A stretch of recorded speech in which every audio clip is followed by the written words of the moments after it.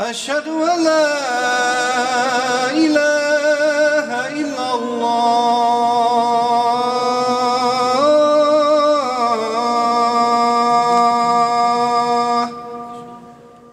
Alhamdulillah.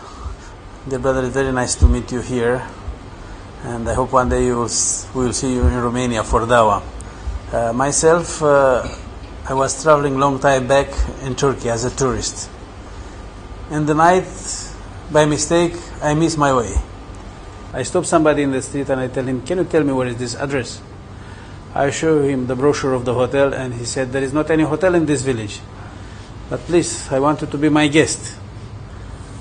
I go to his home, it was dark. I don't see only the front door was open and I saw inside five children and two old ladies. I said the place is safety and we go inside. I was with my wife. That man, he invited us for a very simple dinner. The way how he treat us, we feel very comfortable. And then he said, you sleep in this place, we have the other place.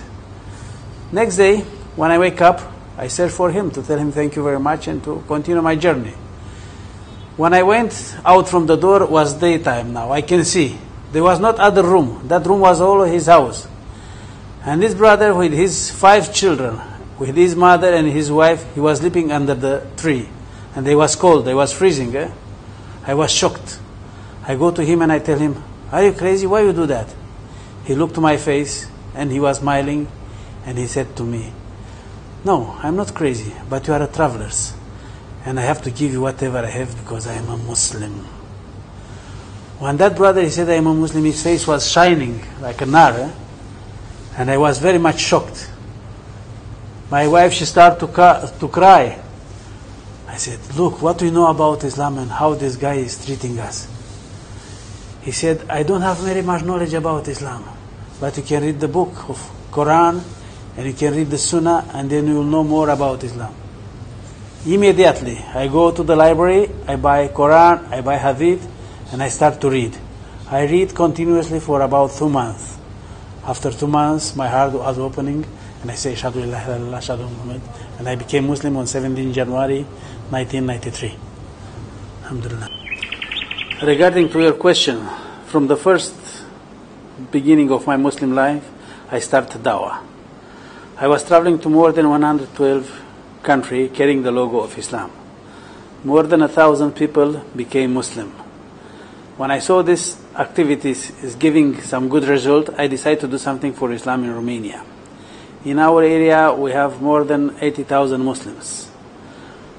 I decided to build an Islamic center to be a house of teaching people about Sunnah of Prophet Muhammad and Quran. We start this project almost we completed. We just have little bit to finish it. My dream is to make this kind of activity all over the world. My target is to let the people to know Islam. Because if somebody read Quran with his open heart, definitely he will change his idea about Islam and he will follow the words of Prophet Muhammad This is my dream. I'm working on it and I wish we will finish our Islamic Center in Romania and our activity will go on and on because we have a big responsibility. God gave us a gift to be a Muslims. We have to spread this gift all over the humanity.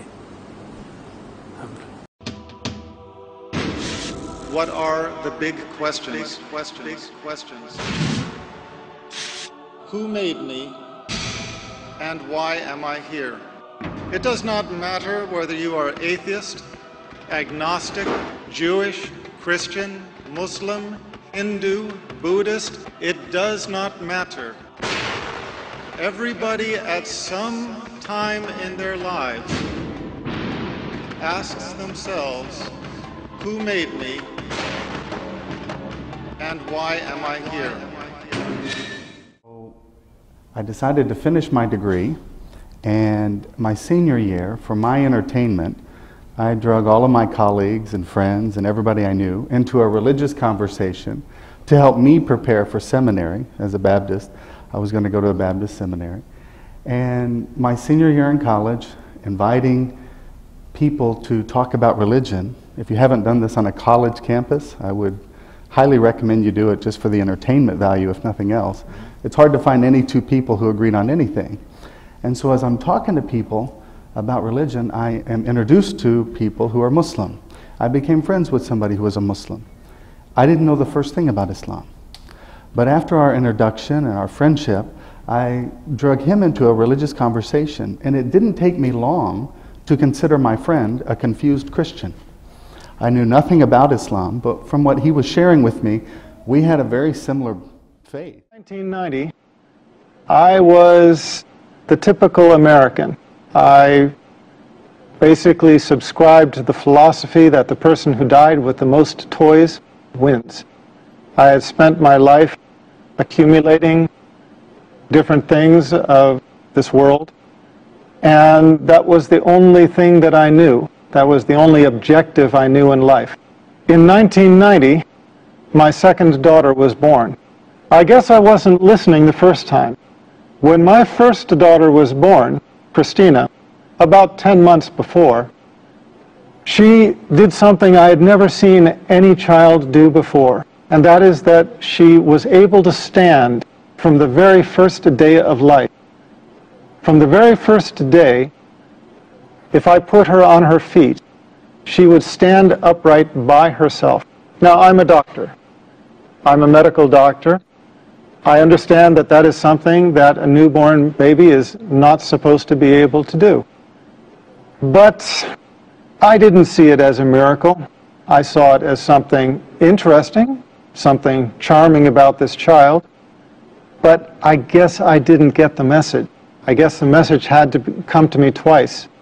And the second time in a more dramatic way.